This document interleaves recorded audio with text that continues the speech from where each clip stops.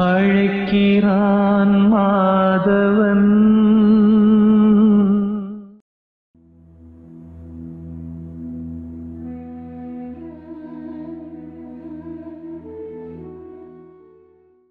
என் பேர் தாஷாயினி இந்த மார்னிங் பிரம்ம முகூர்த்தம் கிளாஸ் வந்து நான் ஃபர்ஸ்ட் பேட்ச் அட்டன் பண்ணியிருந்தேன். அஹ், ஐயா தான் எடுத்திருந்தாங்க. எனக்கு அது வந்து ரொம்ப வெரி யூஸ்ஃபுல் அந்த டைமில் வந்து ரொம்ப ஒரு மாதிரி பதட்டம் டென்ஷன் அந்த மாதிரிலாம் இருந்துச்சு. பட் வந்து நான் வந்து ஒரு தேடலில் இருக்கும்போது யூடியூப்ல மூலியமாக நான் அவங்களோட சர்ச் பண்ணி அதில் நான் ரெஜிஸ்டர் பண்ணியிருந்தேன். நம்ம வீட்டிலேருந்து ஜூமில் தானே அட்டன் பண்ண போகிறோம் என்ன அளவுக்கு நமக்கு ரிசல்ட் கிடைக்கும் அப்படின்னு தான் நினச்சி நான் அந்த கிளாஸை நான் ஸ்டார்ட் பண்ண ஆரம்பித்தேன் ஃபர்ஸ்ட் டேவே எனக்கு வந்து அவங்க கூட ரொம்ப வந்து ஒரு கனெக்ஷன் கிடைச்சிச்சு. ஸோ இன்னர் கனெக்ஷன் அதே மாதிரி டிவைன் கனெக்ஷன் எல்லாத்தோட எனக்கு வந்துட்டு ஒரு பாசிட்டிவாக என்னோட மைண்டும் சரி என்னோட பாடியும் சரி என்னை சுற்றி இருக்கிறவங்களையும் சரி என்னால் வந்து அந்த பாசிட்டிவாக கோப்பப் பண்ணி கொண்டு போகிறதுக்கான எல்லா சூட்சமும் எனக்கு அந்த மார்னிங் அந்த ஃபோர் டு ஃபைவ் பிரம்ம முகூர்த்த கிளாஸில் கிடைச்சிச்சு. அதுக்கு ரொம்ப வந்து நான் தேங்க்ஸ் சொல்லிக்கிறது வந்து பார்த்தீங்கன்னா திருமாவளனுக்கு தான் நிறைய சேஞ்சஸ் ஒன்றும் இல்லை எல்லா லெவல்லையும் அதாவது ஃபினான்ஷியலியும் ஃபிசிக்கலியும் அண்ட் வந்து மென்டலியும் நான் நிறைய சேஞ்சஸ் கிடைச்சிச்சு எனக்கு. அதாவது எல்லாரு கூடயும் எனக்கு கனெக்ட் ஆக முடிஞ்சிச்சு. அவங்க வந்து பார்க்கறதுக்கு எனக்கு சின்ன இதனால குரு உண்மையான ஒரு குருவாக என்னால் ஏற்றுக்க முடிஞ்சிச்சு. எல்லோருக்கும் வணக்கம்.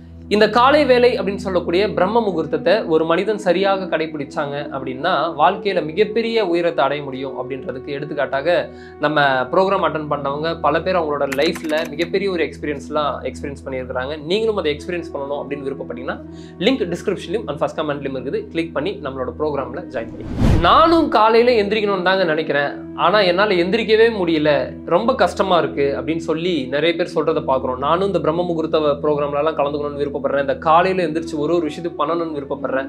காலையில் எந்திரிச்சு ரன்னிங் போகணும்னு ஆசைப்பட்றேன். காலையில் எந்திரிச்சு ஜிம்முக்கு போகணும்னு ஆசைப்பட்றேன். காலையில் எந்திரிச்சு என்னோட எக்ஸாம்ஸ்க்குலாம் ப்ரிப்பேர் பண்ணணும்னு ஆசைப்பட்றேன்.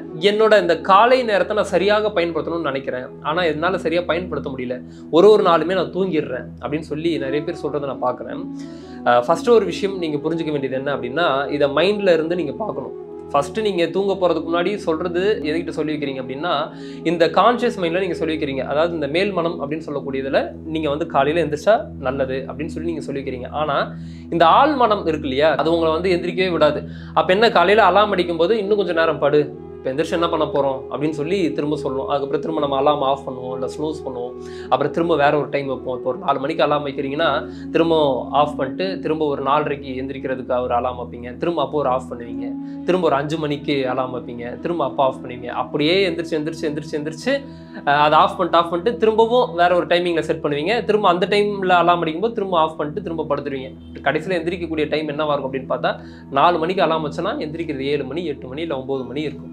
இது ஏன் நடக்குது அப்படின்னு சொல்லி பார்த்தீங்கன்னா ஃபஸ்ட்டு விஷயம் இந்த மனம் அப்படின்றது வந்து இந்த சுகவாசி அப்படின்னு சொல்லி சொல்லுவாங்க இல்லையா? ஸோ சுகமாகவே இருக்கிறதுக்கு பழகும். காலையில் அந்த எந்திரிக்கக்கூடிய நேரம் அந்த நாலு மணி அஞ்சு மணிலாம் வந்து பார்த்தீங்கன்னா நல்ல தூக்கம் வரக்கூடிய நேரம். இப்போ எந்திரிச்சு என்ன பண்ண போகிறோம் அப்படின்னு சொல்லி அப்போ சொல்லும். ஆனால் நீங்கள் தூங்க போகிறதுக்கு முன்னாடி பாருங்க என்ன சொல்லிட்டு படுத்திருப்பான் நாளையிலேருந்து கரெக்டாக எந்திரிச்சு என்னோட வாழ்க்கையை மிகப்பெரிய லெவலில் மாற்ற போகிறேன் நாளையிலேருந்து எந்திரிச்சு என்னோட எக்ஸாம்ஸ்க்கு சூப்பராக நான் ப்ரிப்பேர் பண்ண போகிறேன் நாளையிலேருந்து எந்திரிச்சு கரெக்டாக ஜிம்முக்கு போக போகிறேன் நாளையிலேருந்து எந்திரிச்சு நான் வந்து நல்லா வாக்கிங் போக போகிறேன் ரன்னிங் போக போகிறேன் இது எல்லாமே சொல்லுவான்.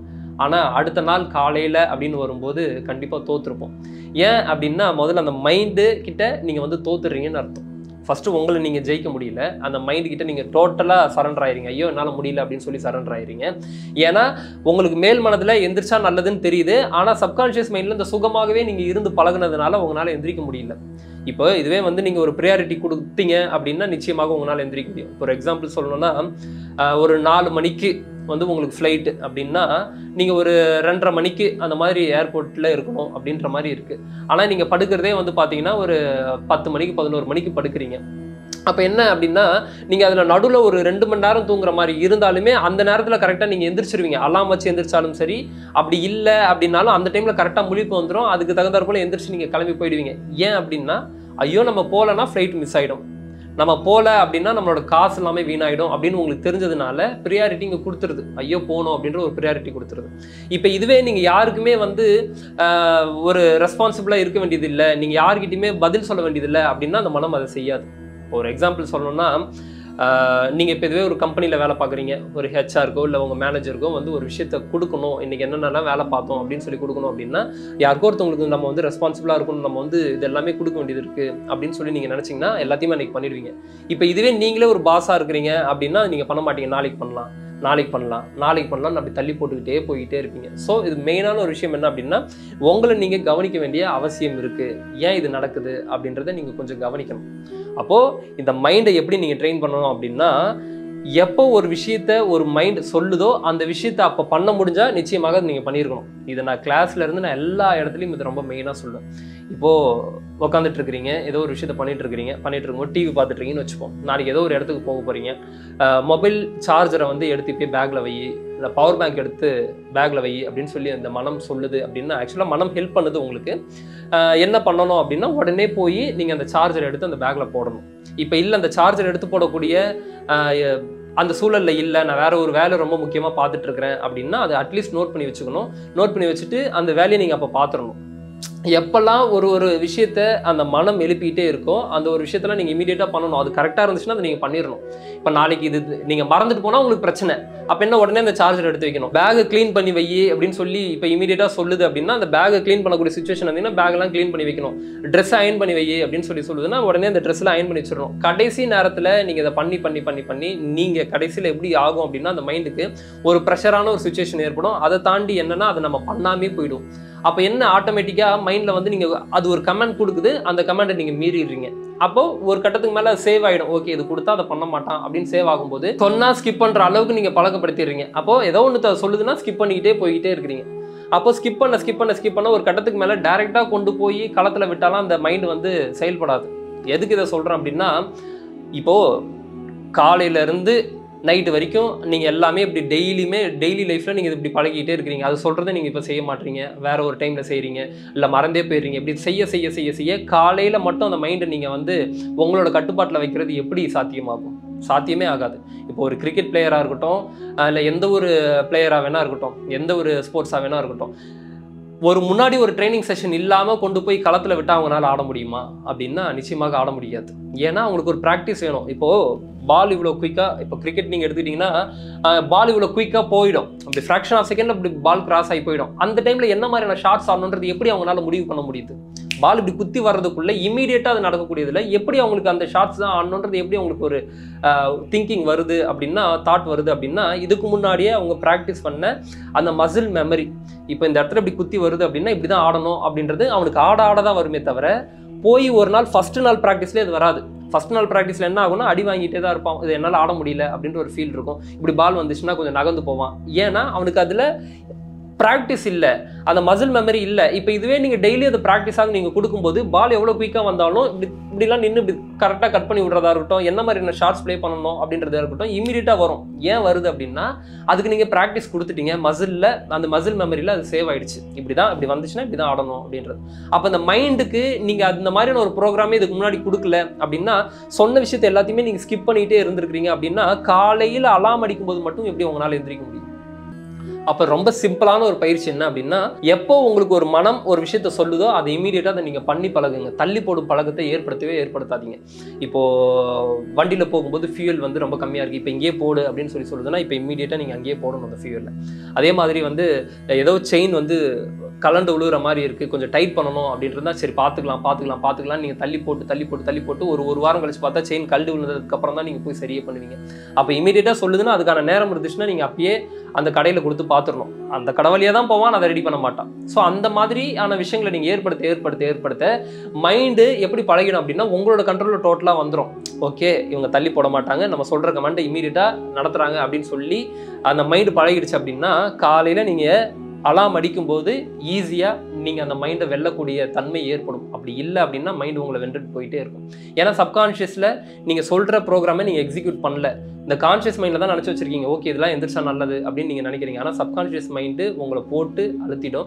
அந்த நேரத்தில் உங்களால் எந்திரிக்கவே முடியாது. ஸோ இந்த சின்ன சின்ன விஷயங்களை நீங்கள் பயிற்சி பண்ணீங்கனாலே எல்லா ஒரு விஷயத்துக்கும் அடிப்படை எது அப்படின்னா அந்த சின்ன விஷயம் தான் சின்ன விஷயத்துலேருந்து நீங்கள் ஆரம்பிச்சிங்கனாலே ஆட்டோமேட்டிக்காக பெரிய விஷயத்துக்கு வழிவகுத்து கொடுக்கும். அப்போது இந்த பயிற்சி நீங்கள் பண்ணீங்கனாலே காலையில் எந்திரிக்கக்கூடிய விஷயம் கிடையாது. நீங்கள் எந்த விஷயம்லாம் நீங்கள் பண்ணணும்னு நினைக்கிறீங்களோ அந்த எல்லா விஷயத்தையும் உங்களால் பண்ண முடியும். ஒரே ஒரு விஷயம் தான் மைண்டுக்கு நீங்கள் ப்ராக்டிஸ் கொடுக்கணும். அது சொல்கிற விஷயத்த இமீடியட்டாக நீங்கள் பண்ண பண்ண பண்ண பண்ண. ஆட்டோமேட்டிக்காக உங்களால் காலையில் எந்திரிக்கக்கூடிய ஒரு பழக்கம் நிச்சயமாக ஏற்படும். அதே மாதிரி வந்து பார்த்தீங்கன்னா அந்த காலையில் எந்திரிக்கக்கூடிய பழக்கம் ஏன் ஏற்பட மாட்டேது சிலருக்கு அப்படின்னா அவங்க முன்னாடி நாள் எடுத்துக்கிட்ட ஃபுட் ஹேபிட்ஸாக இருக்கட்டும். இப்போது ஒரு பத்து மணிக்கு நீங்கள் படுக்கிறீங்க. ஆனால் ஒரு ஒன்பதரைக்கு ஒன்பது முக்காக தான் நீங்கள் சாப்பிட்ருக்கீங்க அப்படின்னா ஒரு ஒரு சீக்கிரமாக டைஜஸ்ட் ஆகாத ஒரு ஃபுட்டாக நீங்கள் எடுத்துருக்கிறீங்க அப்படின்னா காலையில் எந்திரிக்க முடியாது.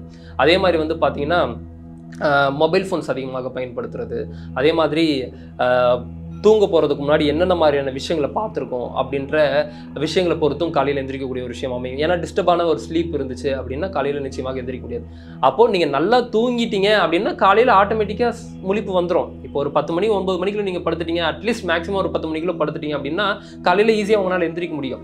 இப்போ இதுவே நீங்கள் போய் படுக்கிறதே ஒரு பன்னெண்டு மணி எந்திரிக்கிறதுக்கு மூணு மணிக்கு நீங்கள் எந்திரிக்கணும் நீங்கள் பிளான் பண்ணுறீங்கன்னா மூணு மணி நேரம் ஸ்லீப் பத்தாது. அப்போ என்ன பண்ணோம்? அது ஆட்டோமேட்டிக்காக உடம்பு அந்த ஸ்லீப் எடுத்துக்க தான் முயற்சி பண்ணும்.